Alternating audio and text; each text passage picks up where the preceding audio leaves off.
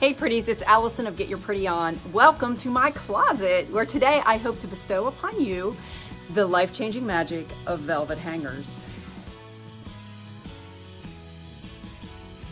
All right, so if you've been around Get Your Pretty On for a while, then you already know that I really love velvet hangers. And every time I recommend doing a quarterly closet clean out, I talk about transitioning over and upgrading all of your old hangers to velvet hangers. So there are a few reasons that I really, really love them. As you can see, first off, they create a really pretty aesthetic. I love the uniformity of all of my hangers looking the same. And I just think that it makes for a much uh, cleaner looking closet. Secondly, velvet hangers are super, super thin. So as you can see right here, you can fit a lot more hangers in a much smaller space. So you can hang your clothes a lot closer together. But the next thing I love about velvet hangers is that you can virtually hang anything on them, like this little cami, for example. So my velvet hangers do have little grooves at the top of them. Um, so if you have spaghetti straps, those are nice to have. But if not, the velvet hanger itself clings to the fabric so pieces don't fall off. And this even works with your silkier items. I love it especially for my fine gauge cardigans like this one.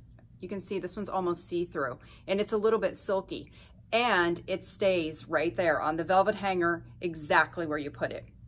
The next thing I love about velvet hangers is that you don't get shoulder bumps with these. You know, traditional hangers really stick up on the shoulder area and can cause those unsightly little bumps. Well, these velvet hangers don't do that. So if I haven't convinced you yet, um, they're actually pretty affordable to switch everything out in your closet. I did mine gradually over time. This isn't something that you need to run out and buy, you know, hundreds of new hangers.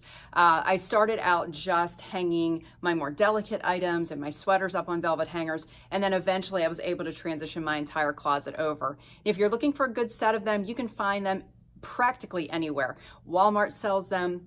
You can get them at stores, discount stores like Home Goods and TJ Maxx.